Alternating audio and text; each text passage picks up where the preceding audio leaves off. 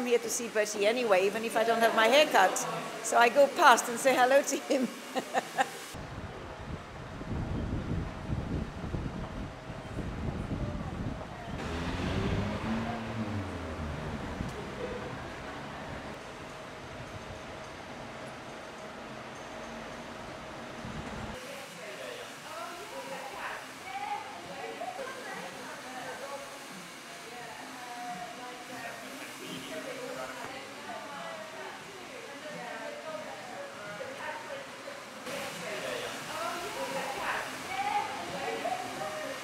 So his uh, job role, if you like, is he meets and greets people. Um, that's what he loves doing all day long. So he generally sits by the door uh, and then when the salon is busy and with clients, then he just walks around to each chair and he sort of gives everyone a bit of a cuddle.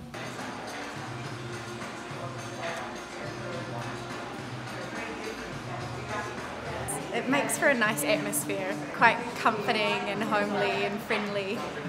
So it definitely adds to the experience.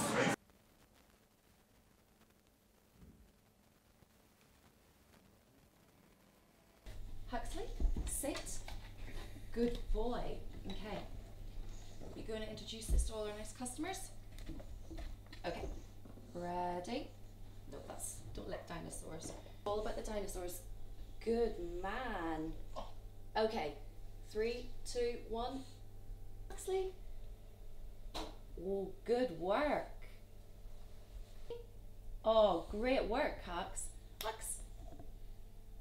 Good man.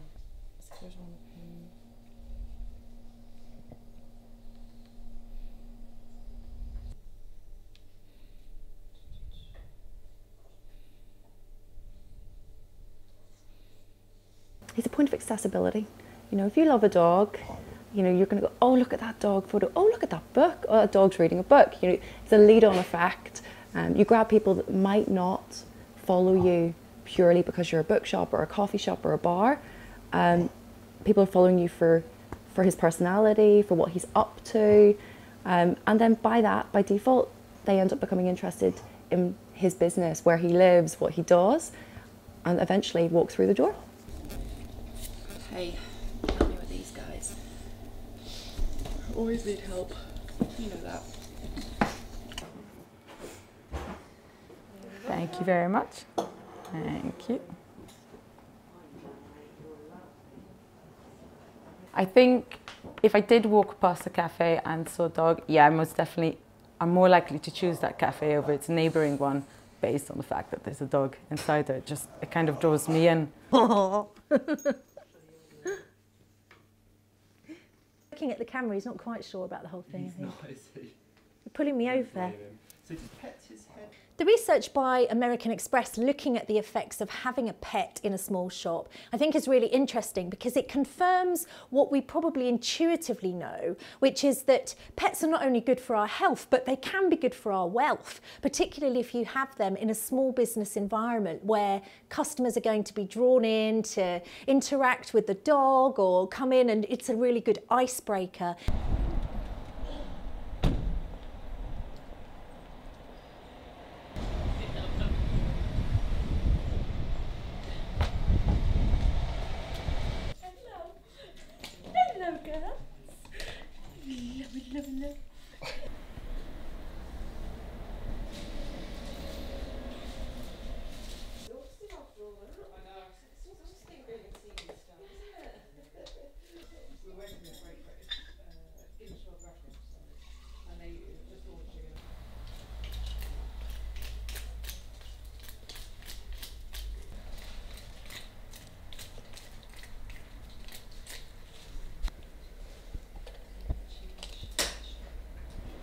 Morning. Every now and again, people are afraid. Um, it's very, very few people, I'm pleased to say. Brighton and Hove is a real good sort of dog community, so I think it's very few people. When they come in, you know, we always say we've got two dogs, um, and these two will run and greet you, which probably isn't the best thing if you're afraid. But actually, if I come with them, and you can actually hopefully overcome some people's fears. Some people will just run out the shop, but it's very few, to be honest.